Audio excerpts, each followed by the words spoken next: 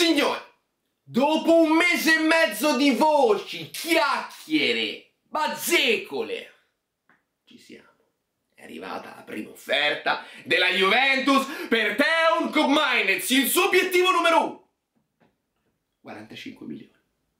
Non ce lo mettono neanche in una fiala o de cop. No, 46 milioni quella. Se vuoi anche solo odorarlo, perché è così che si fa. Perché tanto, prima o poi in un mercato un po' pazzo succede che qualcuno accontenta sempre la squadra che ti fa l'offerta. Noi facciamo gli sconti, infatti ieri 29,4, cioè meno di 30. Lasciamo perdere, argomento superato.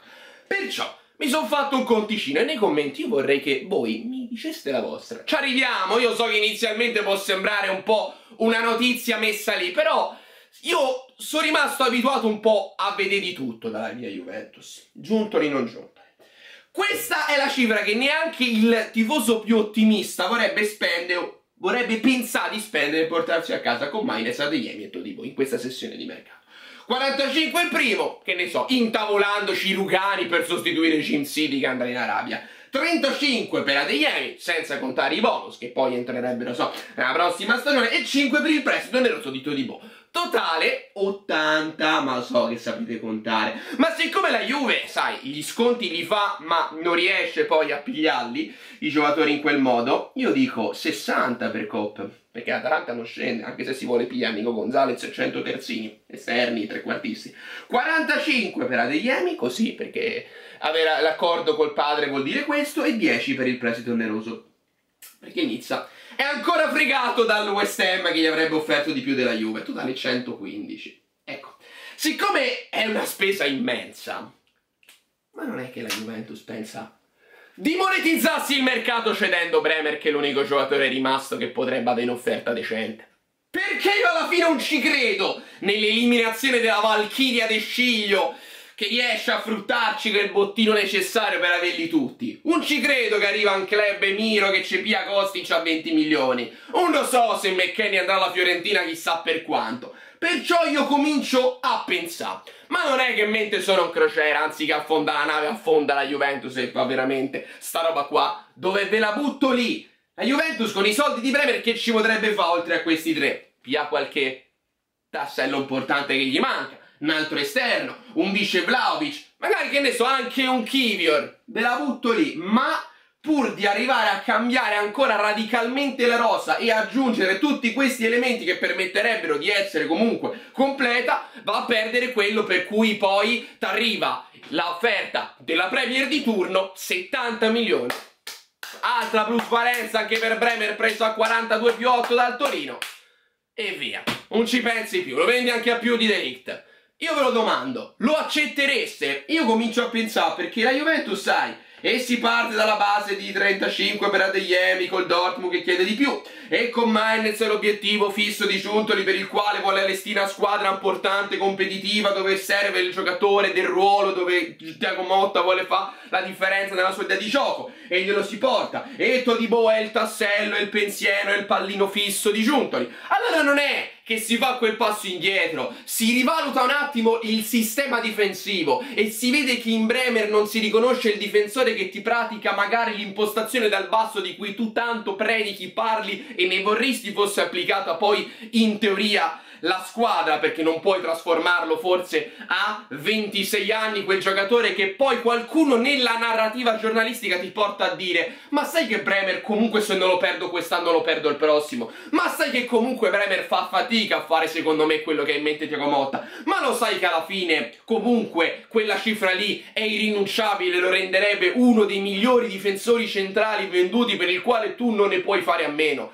Consideriamo queste ipotesi, perché secondo me, ad oggi, intavolare tutte queste tre cose, lo so che a conti fatti la Juventus ad oggi ha ceduto più di quello che ha comprato, e poi ci dobbiamo sempre aggiungere tra le figure cedute ma non monetizzate, Rabiot, Scesni, ragazzi abbiamo ceduto praticamente tra ingaggi e cessioni qualcosa che va sui 100 milioni per comprarne una settantina. Lo spazio ci sarebbe e sicuramente Adeyemi rientra in Sule e Todibo rientra in Uisen. Ecco Miners che mi fa pensare siccome non è l'unico giocatore secondo me di cui abbiamo bisogno, dove anche se ok sull'esterno possiamo in questo momento per l'amichevole con Norimberga rivalutare l'innesto di UEA tra i possibili esterni del futuro, quindi che ne so, ad oggi Ildiz, UEA, Adeyemi, Chiesa, 4 no? Per due posti mezzo ci stai, ma capito no com'è la situazione? A quel punto poi mi verrebbe a mancare il terzino, dove a destra, ok,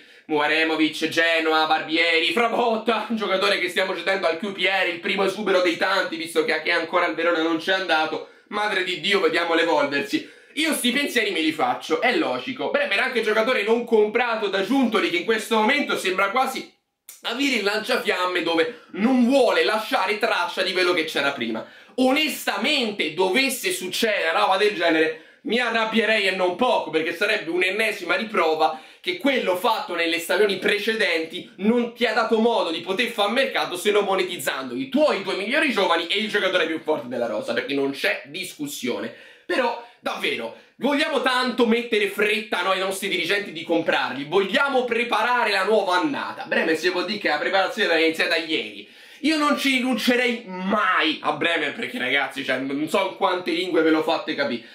Però davvero, sento talmente tanti nomi che poi mi verrebbe da dire, davvero, ok che ce lo dicono gli altri, lo fanno anche in modo troppo troppo troppo esagerato. Già solo con Adeyemi già solo con Adeyemi ma come è stato ad avere tutti questi soldi? Benissimo tranquilli. Non, non c'è bisogno di ricordare che in questo mercato tutti i giocatori si prendono in esercizi divisi tanto che i 15 di Uisen con la percentuale di riventa ben applicata nella cessione di Uisen e Sule del 10% la paghi in 5 esercizi. Tutte le squadre hanno i pagamenti dilazionati che poi mettono a bilancio ogni anno. Vedi Luisen oggi mi pago 3 milioni e l'anno quello lì l'ho veduto venduto a 30 sulle però diviso 4 mi paghi 7 milioni l'anno ecco. È sempre stato così non mi serve di dover spiegare le regole fondamentali del calciomercato. Davvero analizzando la rosa anche non avendo queste offerte del, del Chelsea, del Tottenham per Chiesa dove poi quello sarebbe un campionato che ti metterebbe alla prova eh bello eh, intenso, quindi non so se Chiesa si sposerebbe bene sui ritmi della Premier. Forse nel 2021, adesso post infortunio, io l'unico posto dove l'ho visto bene e dove lo vedrei bene, vi ripeto, è sempre la Serie A, perché poi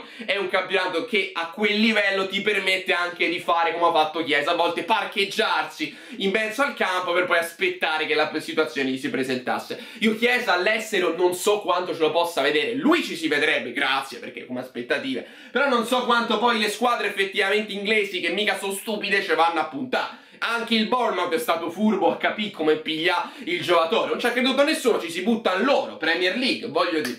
Alla fine quello è il discorso. Davvero, questo è il conto del tifoso un po' logorroico, pessimista, quello che ancora crede che forse tutto questo possa succedere al 31 di luglio. Però ragazzi, è un attimo, eh, arriva la notifica. Non ci vuole nulla, eh, che il Liverpool dà nulla una squadra, non per forza lo United, che di soldi ne ha spesi più di quanto ne potrebbe spendere la metà della metà della metà una squadra di club eh, italiano che fa la Champions, perché questo è chiaro, eh sì, Zirze e Couto sono 100 milioni, non hanno riscattato Amrabat per 20, ma se avessero davvero creduto in lui non esitavano neanche a farlo per 50. Masraoui, Delitti, i prossimi obiettivi. Però ecco, quello è un campionato dove non si fanno assolutamente sconti. Io sono sicuro che Bremer non esiterebbe a rimanere alla Juventus dove si rende conto che ha fatto due anni, il suo primo trofeo gli mancherebbe lo scudetto, è arrivato due stagioni fa, però sai, sono delle supposizioni, un po' per far sbloccare sto mercato, perché poi può succedere YouTube, mi possono sorprendere, sti cavoli, si esulta, si sboccia, ma siccome io,